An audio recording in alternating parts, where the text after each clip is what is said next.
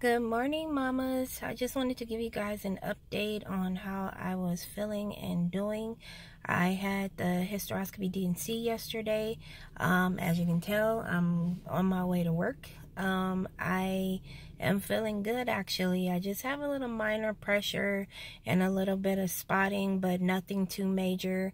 Um, Dr. Shaw did a wonderful job she actually found um, um, some stuff inside of the uterus that she went ahead and took out. She also took out my endometrial polyp. I am hoping that since she removed all of that, we will get pregnant soon. Um, I did have an endometrial ablation back in 2014. Um, I did currently find out that my endometrial lining grew back.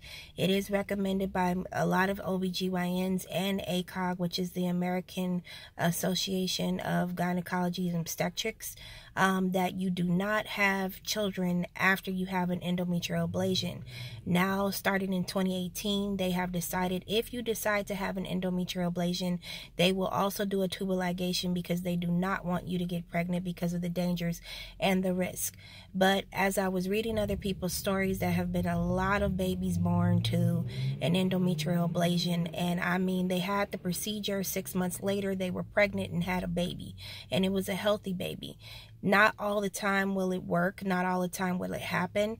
Um, we are going to see an infertility specialist. Uh, we might have to do an IUI procedure where they will do a sperm wash and they will inject my uh, fiance's sperm into my actual uterus and with the egg, and they will go ahead and implant the pregnancy and hoping that everything goes okay.